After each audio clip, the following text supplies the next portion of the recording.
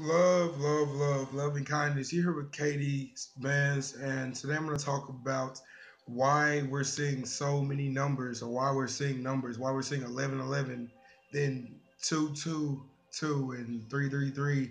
And it just kind of goes on from there, like just a constant repeat and just like a circle. And then you get the same numbers again, and it just keeps going.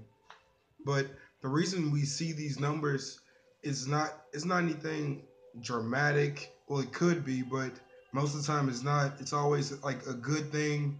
It's just letting you know that we're on the right path and we're going the right way and you're definitely going the right direction.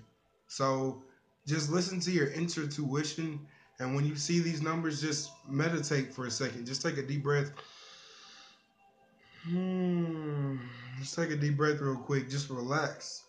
Just think to yourself and just try just try to see what your higher self is trying to tell you, what God's trying to tell you, or your angels are trying to tell you. Just relax and just be in the moment.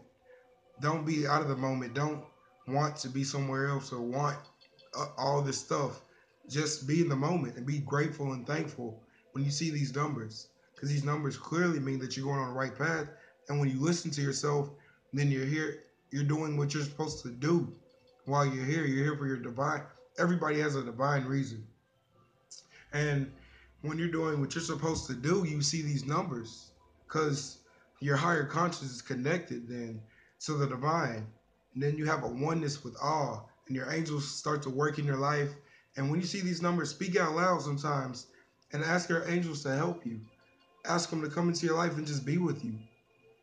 But really, that's about it while we're seeing these numbers. But just stay on your path and follow your heart, follow your conscience, follow follow how you feel. However you feel, that's follow that. Follow your first thought. Obviously, not if it's something crazy, but follow follow what you believe. Follow what you think. That's all these numbers really mean. It's just a guidance, like kind of a boost. Like, good job, keep going that way, keep doing that. You know what I mean? Yeah, you know what I mean. But loving kindness to you and your family. I thank you for watching. More videos come, music coming soon in the description box, please. Follow me on Instagram, Twitter, all that. Follow me. Love you guys. Thank you. I'm out.